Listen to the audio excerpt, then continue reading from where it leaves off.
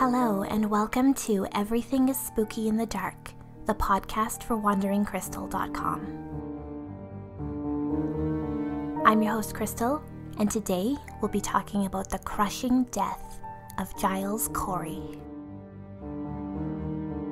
Have you heard of Giles Corey? Unless you have a particular interest in the Salem witch trials, you may have never even heard his name. And you may not be aware of the brutal way he died. Giles Corey was pressed to death. Giles was a farmer who moved to Salem from England in 1658. He led a seemingly peaceful life as a family man and farmer, but his life took a dark turn in 1675 when he beat a man to death. Although Giles was a prosperous and important farmer in Salem village, he had been known to have a bad temper and to have violent outbursts. So when Giles's farmhand, Jacob Goodale, was beaten so bad he died from his injuries, the townsfolk were right to suspect Giles. Fellow farmer John Proctor apparently overheard Giles confessing to killing Jacob and immediately went to the authorities. It is said that the farmhand, Jacob, was stealing apples, and this sent Giles into a fit of rage, and he beat Jacob with a stick. However, Giles managed to get away with the murder by claiming that Jacob had fallen and only had to pay a fine to the local authorities. With all this, his reputation was now tarnished and he was seen as a little shady until he married a woman named Martha. Martha was his third wife, but we won't get into the details of his past wives in this podcast. Giles finally settled down, and at the age of 80, he and his wife finally became members of the church. The year was now 1692, and this is the year that Salem became the breeding ground for mass hysteria. The girls in town started acting strangely, barking, pulling their hair out, and having convulsions. What was behind all this chaos? Witchcraft. Just like an episode of Oprah where everyone gets a car, you get a car, and you get a car, everyone was getting a car. Except in Salem, it was much less exciting because instead of a car, everyone was getting accused of witchcraft. The witch trial started, and Giles and his wife Martha were present in the courtroom when the first of the accused were to stand trial. While Martha was in the courtroom watching the witch trials go down, she made herself known as she called the claims given by the afflicted girls preposterous and said that she was surprised they were being taken seriously. I mean, all they had was spectral evidence. How could that stand in court? Well, unfortunately for Martha, this led to the girls pointing their fingers at her. Within a couple of days, the girls said that they were being attacked by Martha Corey. Clearly, this must mean she's a witch. This was enough proof, and Martha gets thrown in jail to await her trial. This is actually where things get a little bit confusing with Giles. Because after Martha, his wife, was accused, he actually testified against her. Yeah. Apparently, Giles said that while Martha was around, his cat and his ox were suddenly ill, and Martha was behind the whole thing. What a great husband. I don't know what got into Giles. Maybe the witch hysteria that was getting to everyone got to him?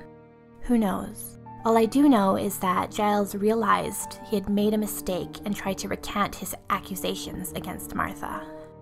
However, at this point, it's too late, and Martha was sentenced to execution by hanging.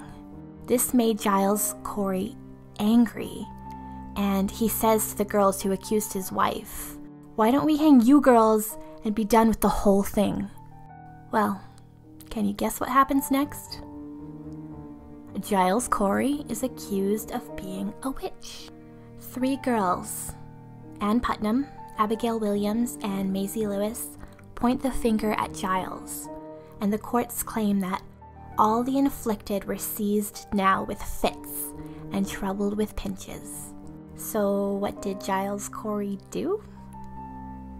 He refused to enter a plea because he knew the fate of those who were accused of witchcraft. No matter if those accused would plead guilty or not guilty, their fate was the same death. So, due to the laws that one must plead guilty or not guilty before facing trial, Giles decided to just say nothing. He was standing mute and was thrown in jail. However, under the same law, people were legally allowed to be tortured to coerce a confession. The court says if Giles Corey refuses trial, he will be tortured until he verbally submits. On September 17, 1692, Giles Corey was dragged to the street where he was stripped naked and placed onto a board that was placed in a shallow pit. He then had another board with some heavy stones placed on top of him.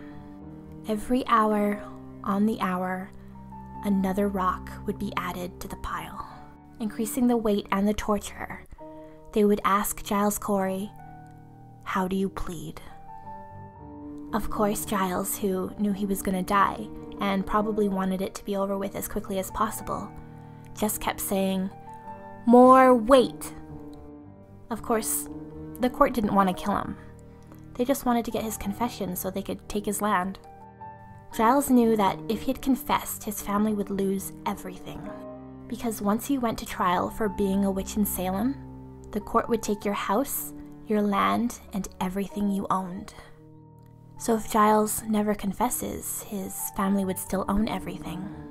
Defiance until the end. The sheriff at the time of the witch trials was named George Corwin. He had been known to be quite a sadistic and cruel man. He thrived on power and he loved to torture people.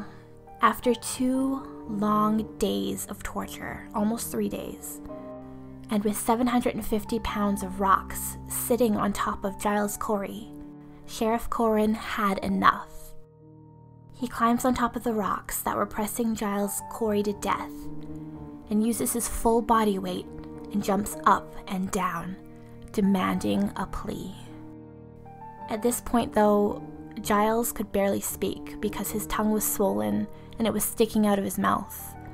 He had been slowly pressed and had gone without food or water for a few days. He was nearing death. So, in a last attempt at getting a confession, the sheriff takes Giles's cane and uses it to shove Giles's tongue back into his mouth. Giles opens his mouth to say one last thing. Legend says that this is when Giles Corey uses his last dying breath and curses the sheriff and the town of Salem with the words, Damn you! I curse you, Salem! And so, on September 19th, under the torture of stone weights, he dies. His wife Martha is hanged a few days later, and his family gets to keep the land. But what about his curse? Well, depending on how you feel about the brutal sheriff, you might be pleased to find out that he died of heart problems just four years later, at the young age of 30 and so did every other sheriff for the next 300 years. The curse held until 1991, when Salem got rid of the position of sheriff and opted for a municipal police department. What about the rest of Salem? The town that Giles Corey cursed with his last breath. Well, rumor has it that every time the town suffers from a catastrophe, an apparition of Giles Corey is seen just before it begins.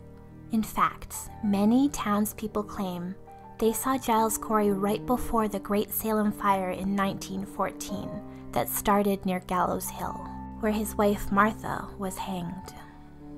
Whether or not you believe Giles Corey cursed Salem and the sheriffs, what happened to him and all of the other innocent people who lost their lives in Salem during the witch trials was tragic. It's hard to comprehend that such brutal torture and killings based on nothing but spectral evidence actually happened in real life. Now, before I let you go, I want to ask you a question. Do you think that Sheriff Corwin was trying to hurt Giles Corey to finally get his confession? Or do you think that after two long days of torture, He was just trying to give the final dying blow to end the torture and finally end Giles Corey's life. I guess we'll never really know. Thank you for listening to Everything is Spooky in the Dark. For more information about Giles Corey and the history of the Salem witch trials, be sure to visit wanderingcrystal.com or check out the blog post linked in the podcast description below. Thanks.